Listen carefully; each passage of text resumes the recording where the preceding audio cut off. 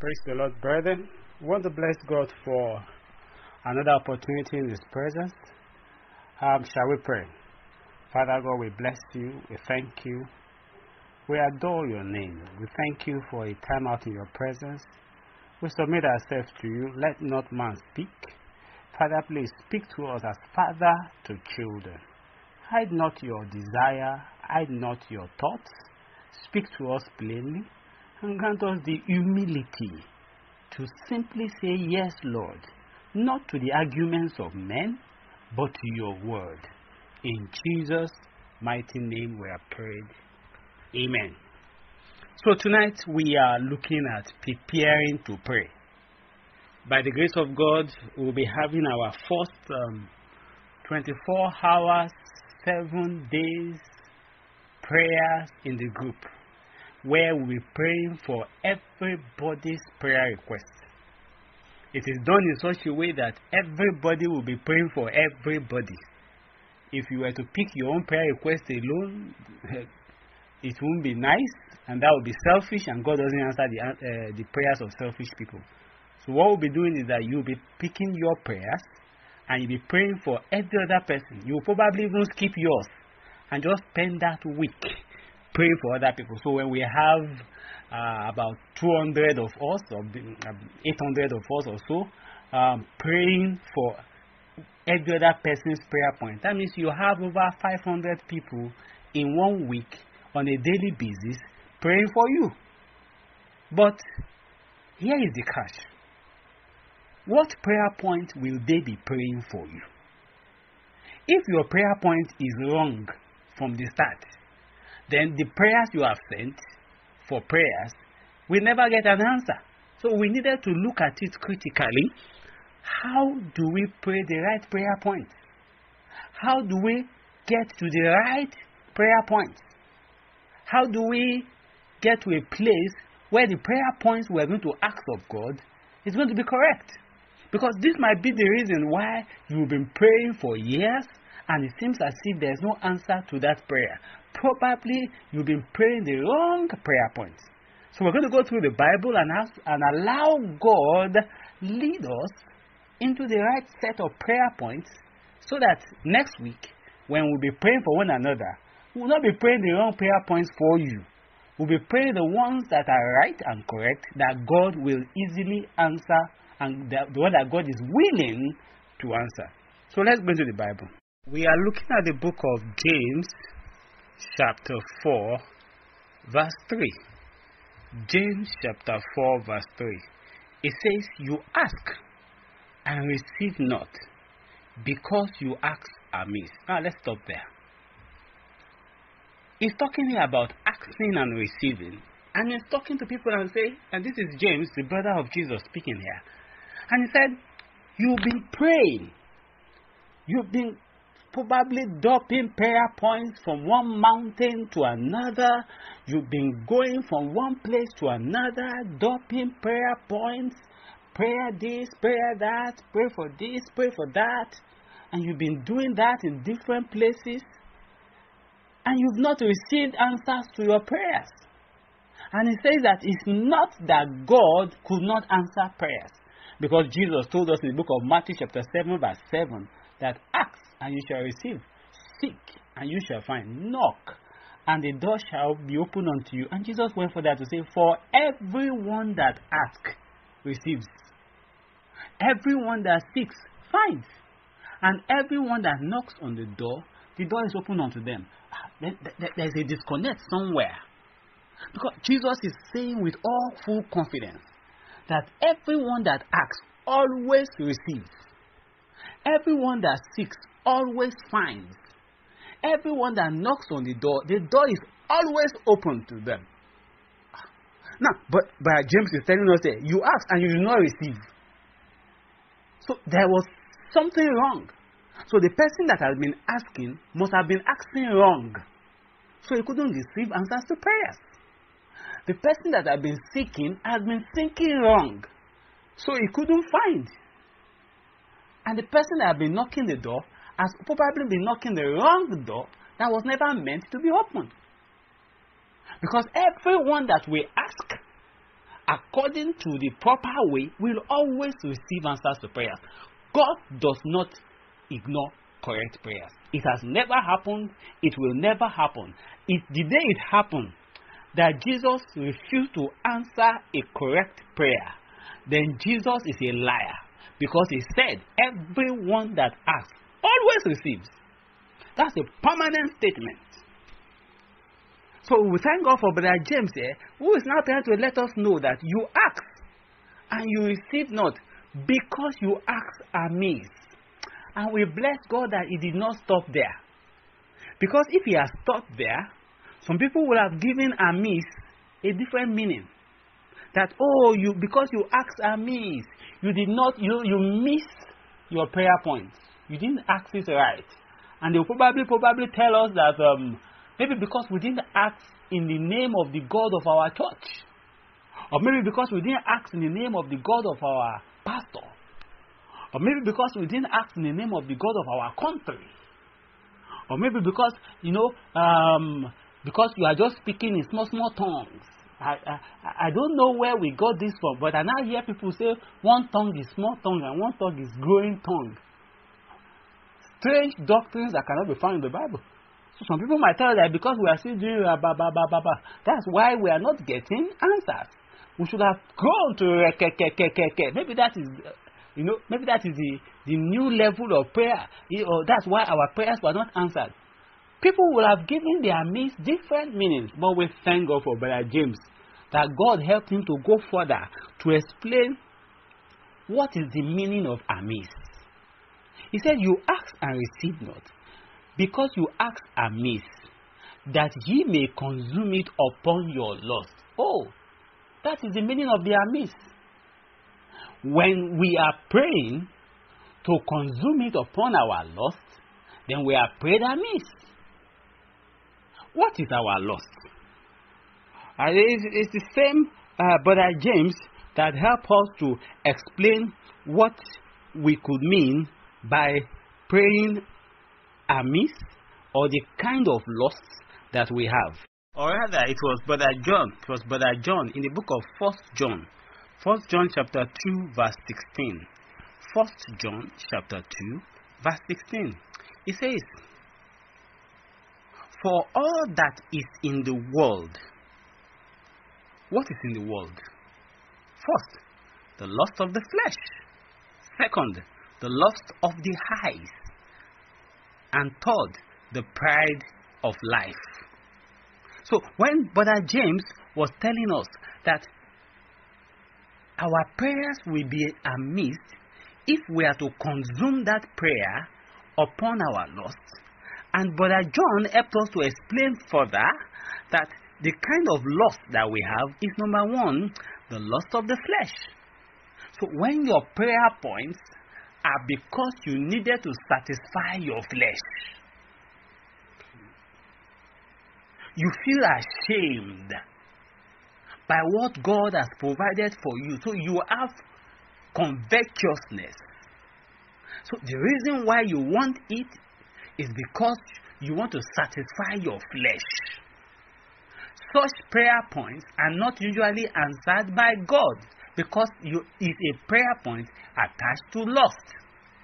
And my fear, and this is where I am careful, is because I have seen Satan answer such prayers. I have seen Satan meet the needs of people who have the lust for the flesh. If he can do it for those who do rituals, who do voodoo, and um, who join Illuminati, he also does it for those who ask in the church. Sometimes he decides to answer your prayers to so I can lead you away from God. He gives you what we because the more you spend it on your lust, the more you are far away from God. That second, uh, that First John chapter two verse sixteen, it says that the lust of the flesh, the lust of the eyes, and the pride of life is not of the Father. It's not of the Father. So when you pray for a lust to satisfy your flesh, when the answer comes, You might give testimony in church. We might use the testimony to preach. And more people, so called, came for altar call. All they have done is get more of the lust of the flesh and lost the Father.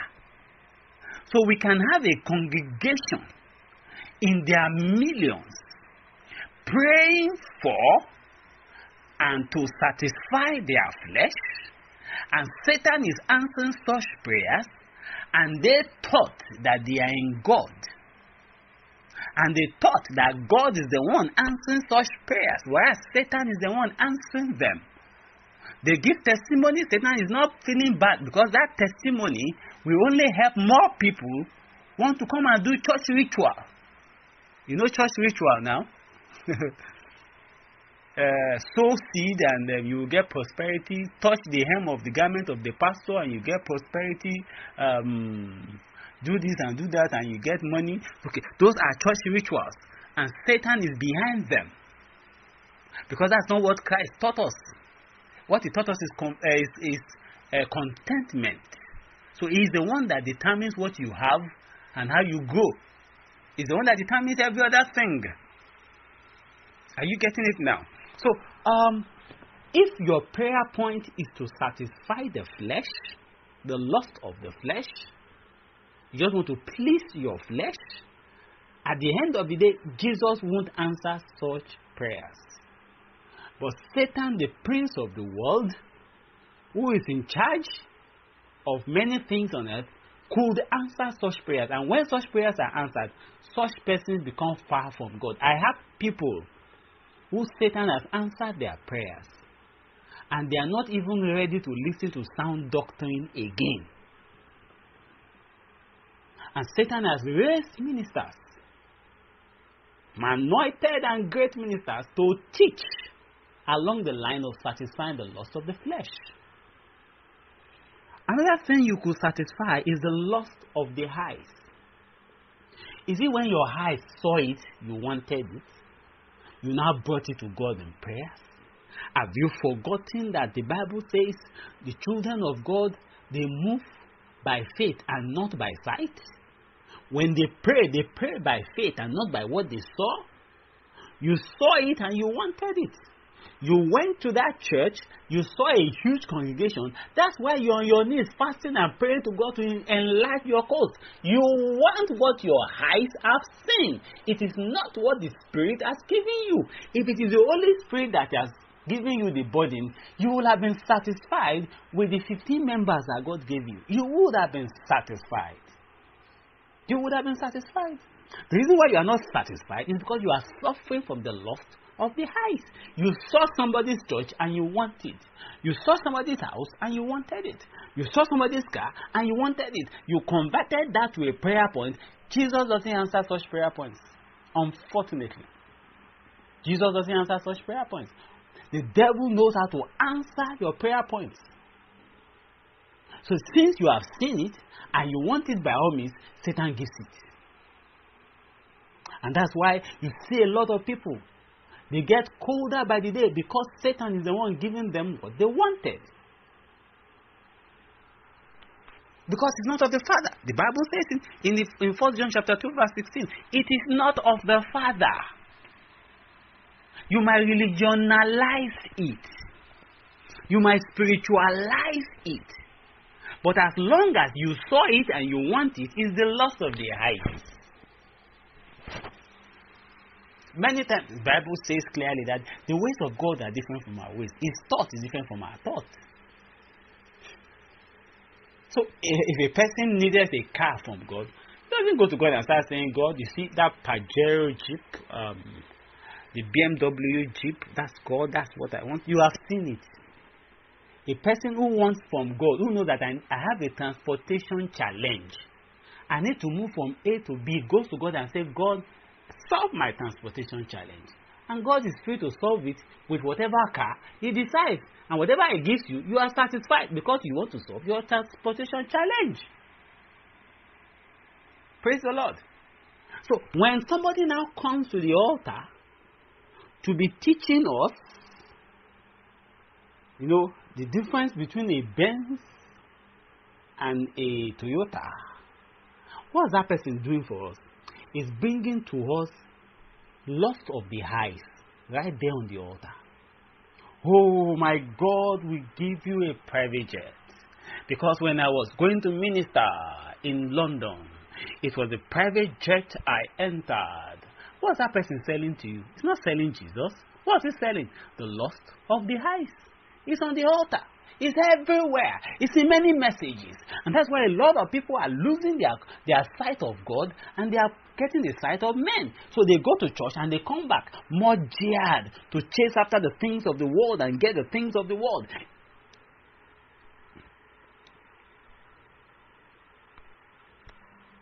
Sorry? Sorry? Praise the Lord. So a lot of people are geared to go after the things of the world. Right in the auditorium in the church, we paint the beauty of the world to them. The lust of the eyes is sold into their life, and they convert that to prayer points. And at the end of the day, Jesus does not answer such prayers. Satan will answer, and Satan will not fight to go and give the testimony because he knows that the more you give that testimony, the more people he gets to follow the laws of the eyes. It's here in the Bible. And finally, the pride of life. Why do you want that prayer point? So that you can feel like somebody. So that you can become somebody. Why are you praying for greatness? Why are you fasting and praying that your ministry should grow? What exactly do you want to grow in that ministry? What are you looking for? You are looking for popularity? You also want to step into a church and everybody go on their knees to recognize the anointing of God in you. Is that not the pride in yourself that is pushing that prayer point? Why do you want a house? So that when your in laws come, they will now see that you are also somebody. That's pride. Why do you want that prayer point? What is the purpose behind the prayer point? Why? Because you want to be somebody. Why are you praying for greatness? Today I hear on the pulpit, somebody says, You know, I was a poor person. I used to trek. I used to drink garri morning and night. But today, after God called us into the ministry, today we are now able to buy uh, 30 bags of rice for the needy. Then you go on your knees and you start praying, Oh God, enlarge my coast. Why do you want God to enlarge your coast? Because you too want to become somebody. You saw that person. You saw what has happened to that person. So you are now crying for greatness. I want to be great. Why do you want to be great? Because you want to satisfy your pride as a person. So this is what Brother James was speaking about. That if your purpose of praying is to spend it on the lust, either the lust of the flesh, or the lust of the eyes, or the pride of life, if that is what your prayer points are, Christ won't answer such prayer points. Rather, Satan will answer for you. Do you know the book of Matthew, chapter 7? Jesus said, On the last day, people will come and say, We did great things in your name. We did great things in your name. Oh no, we performed miracles in your name. God, you are the one that provided me the private jet. You are the one that provided me the cars the 15 cars in my compound, the houses in, in Bahamas, the house in Ghana, the house in Tanzania, the house in South Africa. I prayed and you provided it for me. You know, I asked you to make me great. Today, everybody knows me worldwide. I was a popular person. No, my music ministry was off the chart. I was the first Christian musician to sing and top the music board all around the world for three weeks straight. Oh, I was the usher, and you know I did this, I did that. And Christ will tell them, I don't know you. I don't know you. How could I have answered your prayers when I don't know you? I don't know you. I'm sorry, I don't know you. You say you use my name, but I'm sorry. If if you have used my name, I probably would have known you. That oh oh yeah you you are the guy that used my name that time. Oh I know you I know you ah but uh you have a sin that's why you can't enter. Jesus said even these ones he will tell them I don't know you. So the question is if Jesus did not know them, who has been answering their prayers? If Jesus does not know them, and there is no record of them with Jesus, and they claim to have been using the name of Jesus to pray, and they have been giving testimony that it was Jesus that made them great. Oh, it was Jesus that provided for us. It was Jesus that answered our prayers. It we called on Jesus. I went for seven days dry fasting on that prayers and God answered me.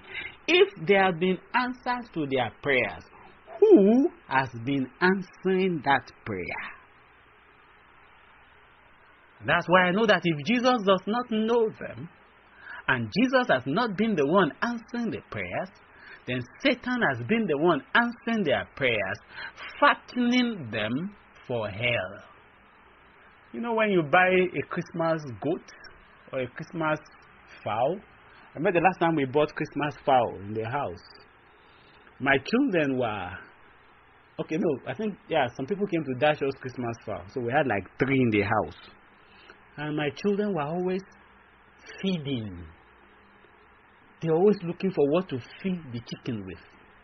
And I thought, oh, my children are falling in love with the chicken. So I told their mom, Maybe we do not kill this chicken on Christmas Day.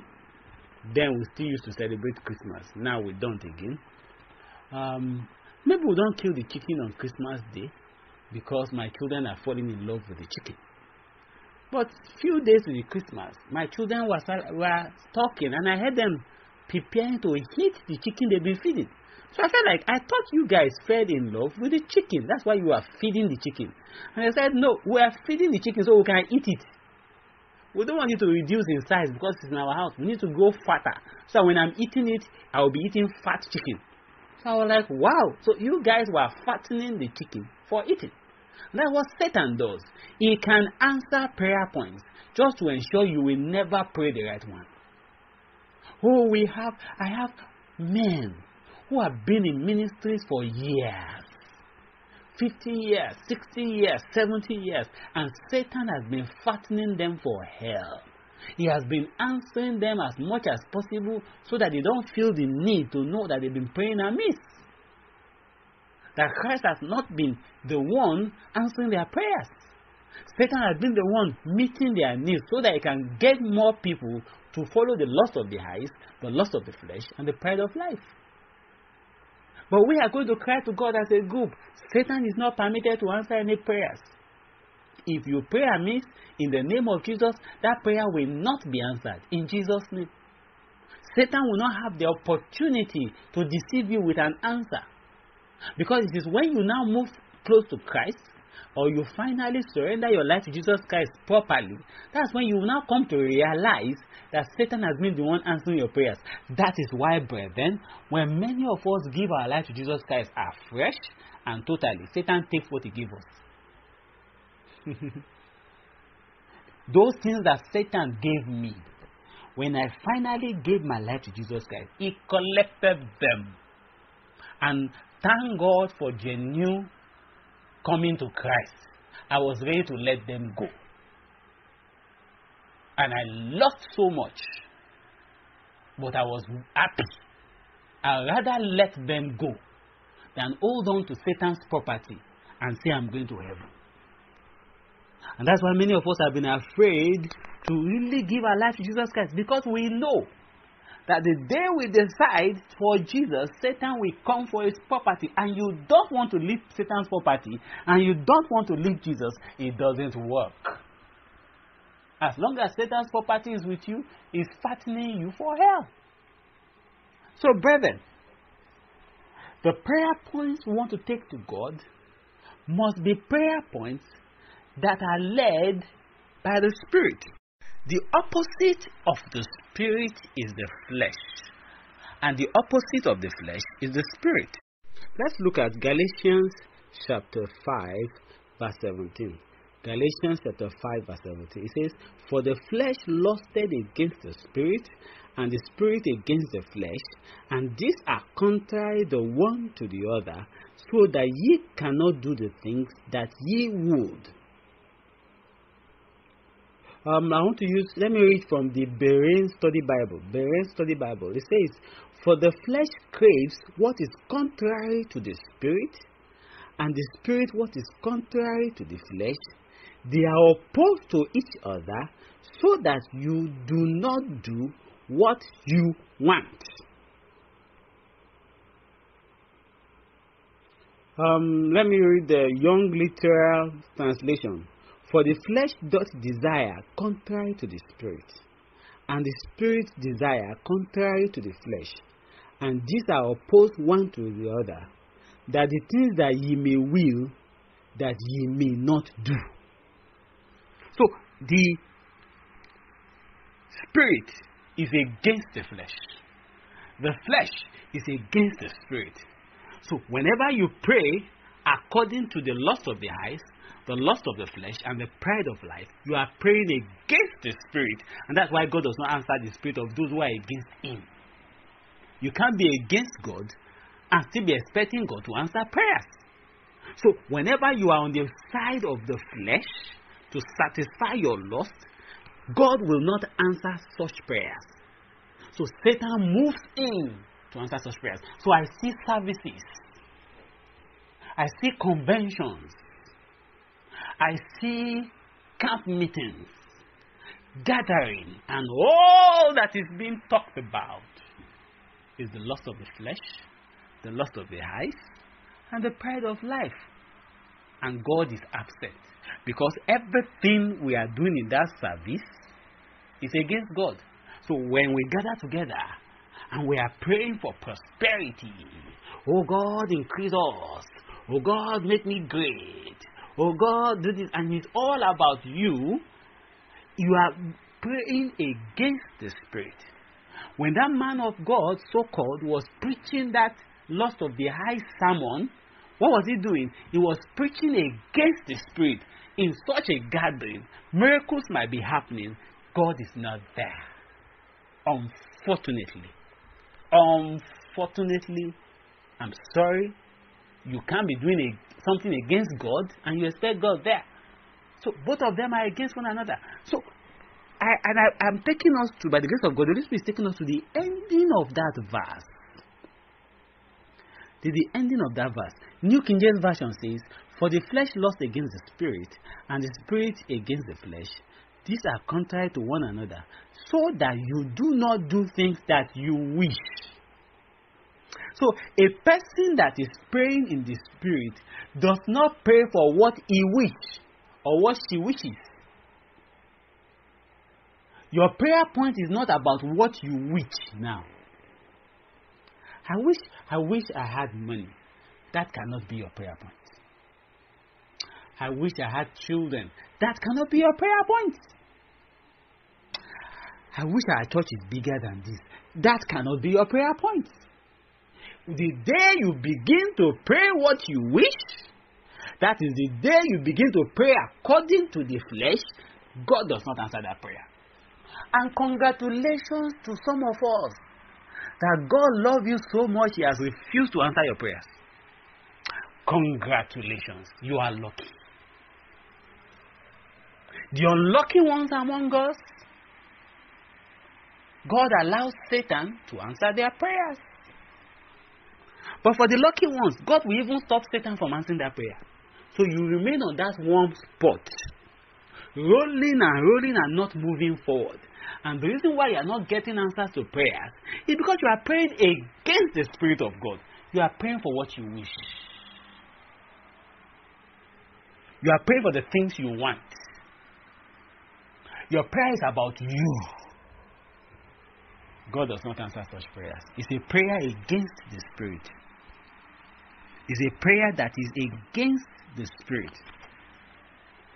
Now the Bible says, For we do not walk by sight, for we walk by faith and not by sight. Faith is the substance of things hoped for, evidence of things not seen. That is faith. The prayers you will pray in faith were not determined by what you saw. It wasn't determined by what you heard. It was determined by an hunger of the Spirit that was placed in you. It was an imposed prayer that came from God Himself.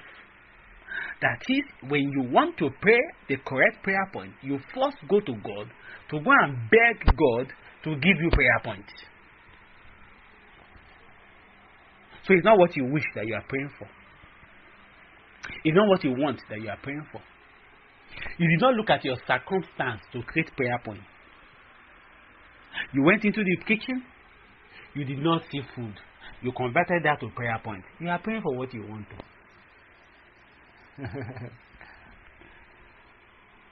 you entered your wardrobe.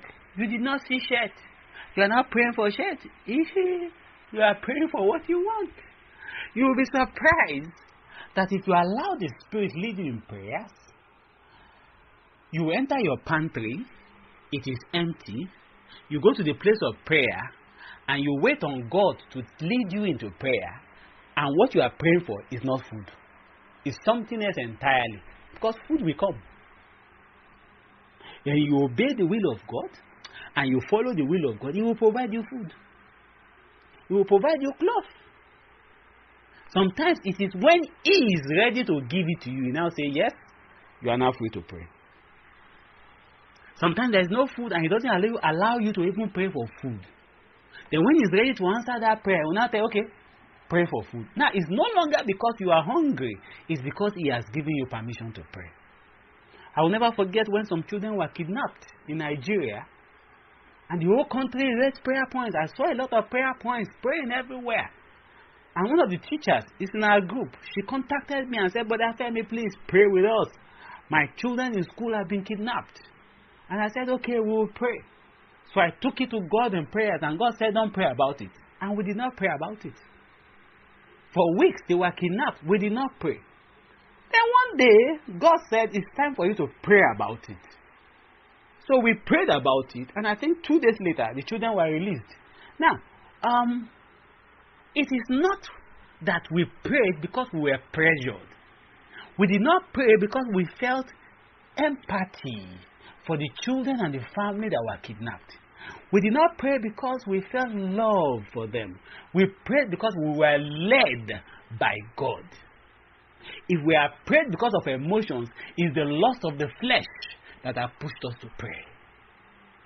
So when Jesus said, Everyone that asks, receive it, it is Jesus is speaking about those that ask according to the Spirit. The Bible says in three different places in the Bible, for those who are led of the Spirit are the children of God. And Jesus said, Which of you will your children ask for fish, and you will give that child a snake? Or the child will ask for a, a bread, and you will give that child a stone. It now says, If you, who are so wicked, can take care of your own children, what about your Father which is in heaven? So, this lets me know that God does not deny the, uh, the prayers of His children. But the question is are you qualified to be a child? Because it says only those who are led of the Spirit are the children of God. So you are free to be calling God Father, but you could be a vagabond who is led by the lust of the eyes, by the lust of the flesh, and by the pride of life. And you'll be here saying, I am a child of God. And God will be telling you, No, I don't know him. I don't know her. They are not my children because they are not led of the Spirit. He that is led of the Spirit is opposite to the flesh. So the person that is led of the Spirit does not see what the flesh is saying. So when people gather and the loss of the eyes and the loss of the flesh is making them to call on poverty. Oh, you demon of poverty, die by fire, fall into the gutter, die now. I shoot you with the gun of God. And they are praying those prayers. A child led of the Spirit does not understand why they are praying such prayer points. Because I am led of the Spirit. Everything I will have is dependent on the Spirit. I don't have a desire. So I don't have a desire in the place of prayers. I don't have a prayer point that is based on my pain or based on my feeling. My flesh does not suggest prayer points to me because I'm not led by the flesh. My flesh, my eyes, does not suggest prayer points to me because I'm not led by my eyes. It's not because I saw it and now go to the place of prayer and converted it to prayers. No. It is because the Holy Spirit has said I should pray about it. That's why I'll pray about it. And because I'm led by the Spirit, my prayer points are opposite to the prayer points of the other persons who are led by the flesh. So our prayers are against one another. So when the person who, has, who is led by the flesh comes to God in prayers, God does not see a child, God sees a vagabond. And the answer of the prayers of vagabonds don't get answered because God does not see himself as their father. The Bible says only those who are led by the Spirit are the sons of God. They are the ones that are called children. So when God says, I will take care of my children, He's only talking to those who are led by the Spirit and not those who their flesh is pushing them everywhere. Pastor, your auditorium, what pushed you to build it? The Spirit or your eyes? If it is if it is your eyes that made you design that altar it is not God that said this is what I wanted. If it is your eyes, God is absent on it.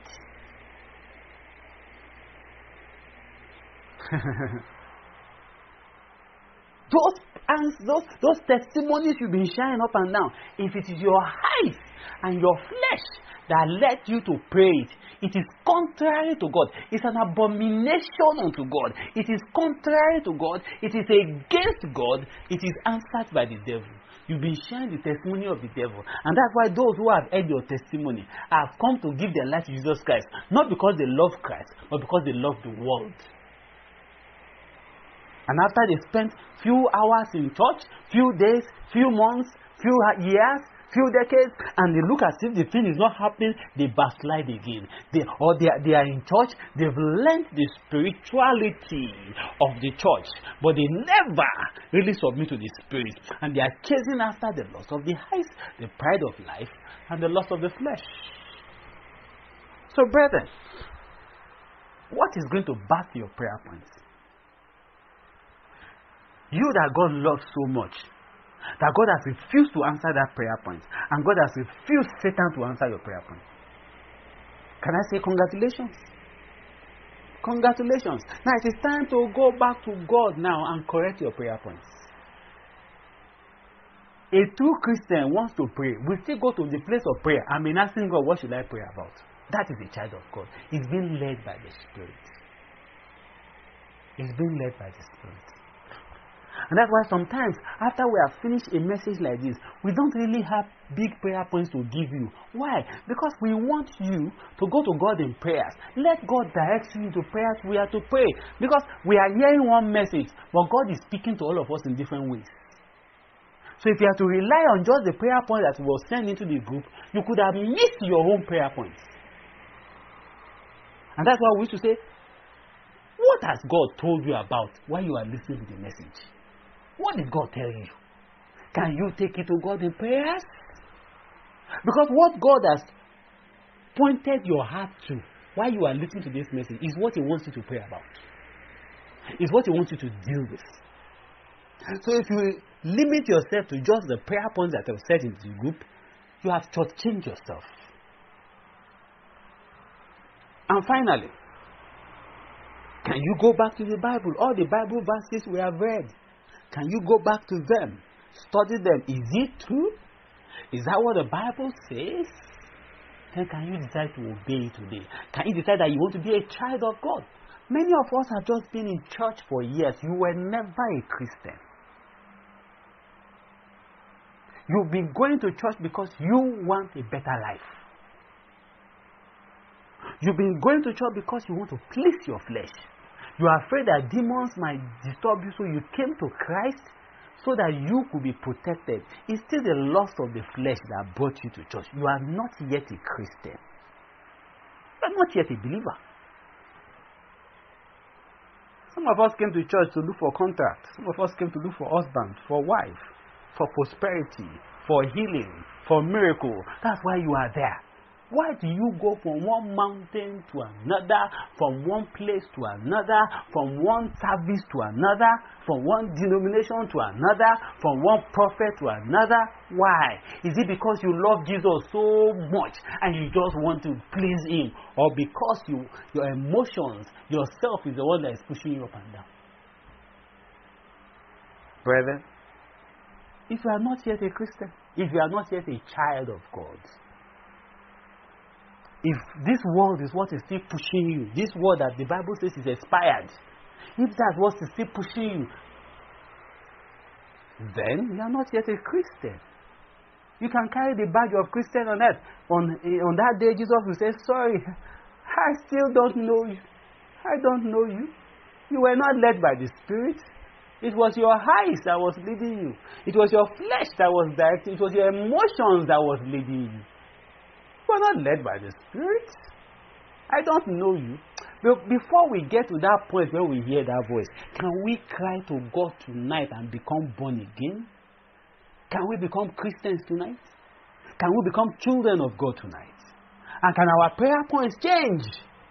Now, from just being me, me, me, me, me, me, my heart is leading me, my, my flesh is leading me to fulfilling what God wants to seeking the face of God and asking Him to help us to pray. I believe that by tomorrow, by the grace of God, we will take that to God in prayers to teach us how to pray and to tell us what to pray about. But for tonight, can you sort yourself out with God? Can you get ready to lose any miracle that Satan organized for you? If I were you, I would go to God and say, God, I am ready. Take away every answer to prayers that Satan gave me. I don't want.